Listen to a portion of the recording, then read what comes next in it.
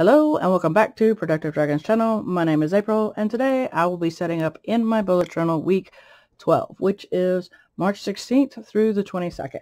I will be using these from Simply Gilded. This was from last year. I'm still doing the Dutch door method. As you can tell I am sounding a little better than what I have been sounding like which has sucked. uh, but I thought this would be a really good one for this week since it has the shamrock and this is the week of St. Patty's Day. And I can't find my original cutter.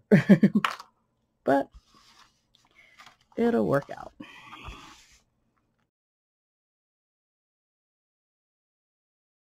Alrighty. And while I'm at it, I will do the Dutch door that I have been doing.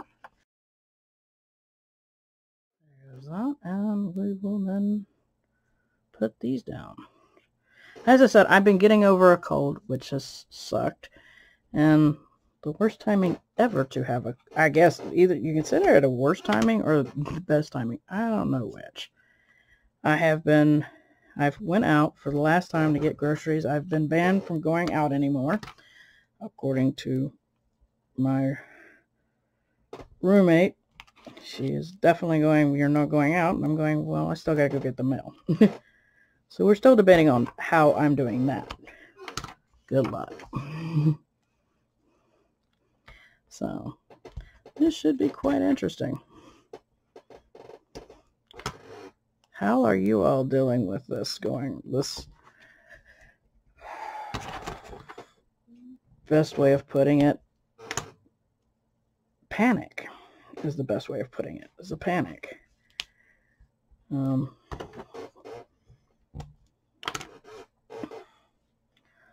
I did go see my doctor. It went well. Everything was fine. Um, she did not consider me, you know, contagious, so that was good. I can't imagine how many parents are going to go nuts and when being quarantined with kids. Uh, I don't envy y'all.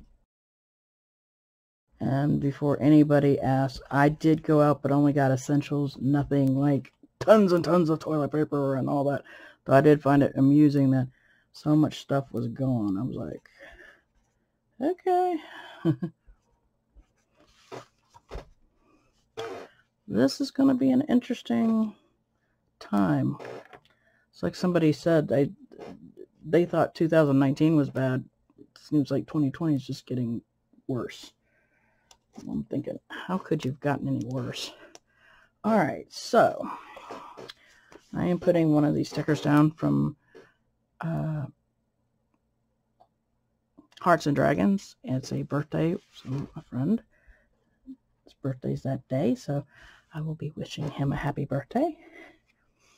Um, I will be doing a live on Monday at 4 p.m. on my Twitch. Tuesday, I don't, oh, I do have something. I need to post an HB in CC. On Wednesday, it's at 3.30, I believe, Sam's Live. And I have to post a HB in CC. Thursday, I am doing a live at 4 p.m. Eastern Time. Friday, nothing. Saturday, I film, edit, and post video.